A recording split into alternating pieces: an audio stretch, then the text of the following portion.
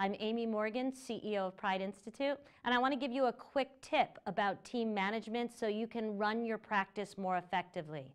It is absolutely essential that you create models to reward and recognize your superstars. Because if you don't acknowledge your superstars, you're going to get mediocre performers or worse, poor performers. So acknowledge them because what gets acknowledged gets repeated.